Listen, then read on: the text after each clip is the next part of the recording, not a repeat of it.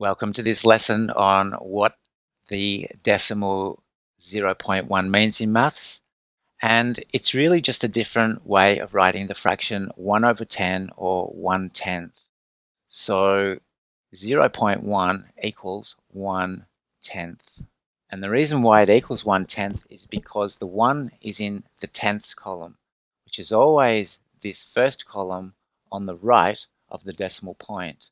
So the value of this one is 1 tenth, which can be written as the fraction 1 over 10 as I've done here. So what all of that means is that 0.1 of something is the same as 1 tenth of something. So to find 0.1 of this rectangle, for example, you'd be finding 1 tenth of it. And to do that, you'd need to divide it into 10 equal parts, which it already has been and then color in one of those parts as I've already done. And in fact, to find 0.1 of anything, you're really just finding one tenth of it.